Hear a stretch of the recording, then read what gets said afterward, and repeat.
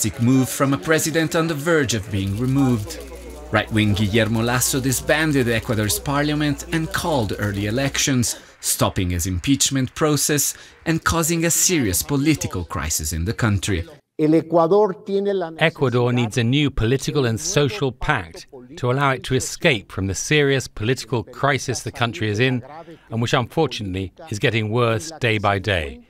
We need to move forward to a solution that can give hope to Ecuadorian families for a future of well being and stability. The opposition has accused Lasso of allowing a corrupt contract between a state company and a private business to go ahead, although he denies the allegations. Security forces were deployed outside the parliament hours before the president's announcement. The police in anti-riot gear has been barricading all the entrance to the country's Congress since the early hours of uh, Wednesday. They're not letting anyone in, not even lawmakers. And as you can see on this side instead, there are all the employees, workers that work inside Congress that also haven't been able uh, to enter and have been here, some of them uh, since 5 a.m. in the morning. La Policía Nacional Lasso invoked a never before used constitutional clause known as mutual death. The clause allows him to govern by decree until fresh elections can be held, a process that could take up to six months.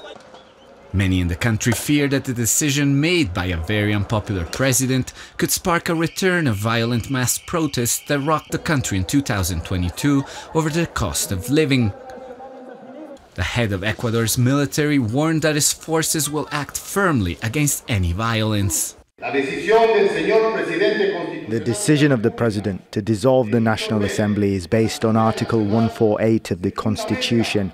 It is therefore subject to a constitutional norm and must be fully and completely respected. Ecuador's main opposition party said that while Lasso's use of the mutual death clause was illegal, they won't challenge it in court.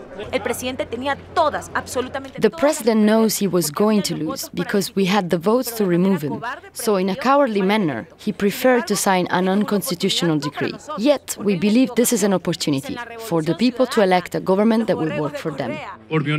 But other parties did start a challenge in the courts, and the country's powerful indigenous organization, CONAIE, said it will mobilize against any decree by the president they might reject, leaving Ecuador in a state of high political tension and uncertainty. Alessandro Rampietti, Al Jazeera, Quito.